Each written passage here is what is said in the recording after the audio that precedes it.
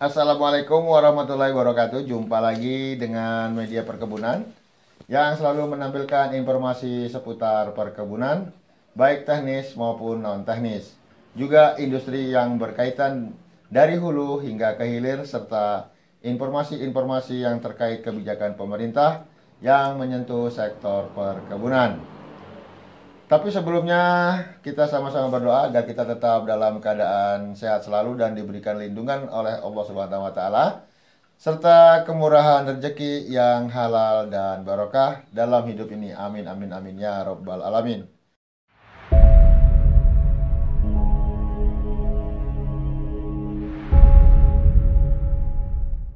Baiklah sobat planters, pada kesempatan kali ini kita coba akan membahas dan akan selalu mengupdate harga CPO di pasar Chip Rotterdam sesuai dengan adanya transaksi yang terjadi di Rotterdam.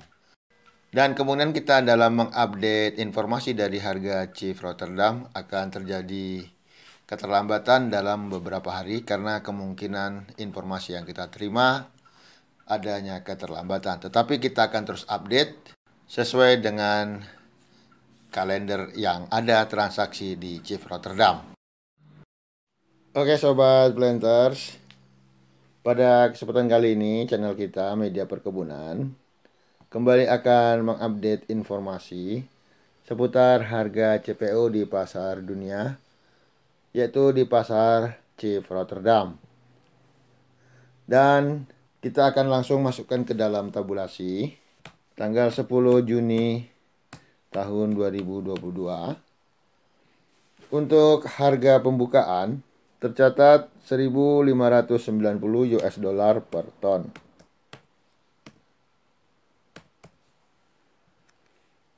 Harga tertinggi sama dengan harga pembukaan yakni 1590 US dollar per ton.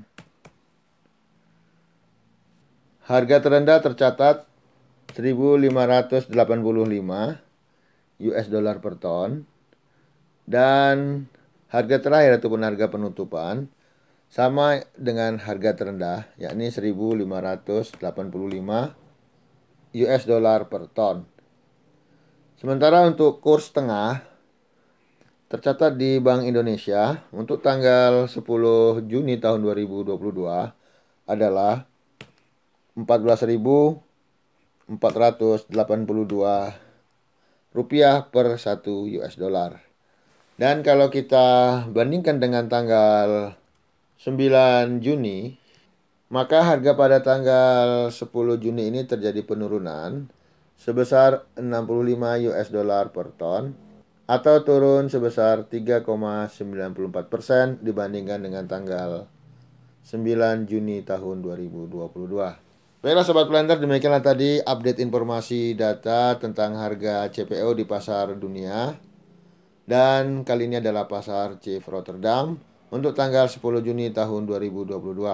Semoga informasi ini bermanfaat bagi teman-teman semua. Terima kasih. Terus tetap ikutin channel kita, lakukan like, share, dan subscribe agar teman-teman dapat informasi video-video baru yang telah kami upload. Sekali lagi kami ucapkan banyak terima kasih bagi teman-teman yang sudah banyak melakukan komen, share, dan subscribe.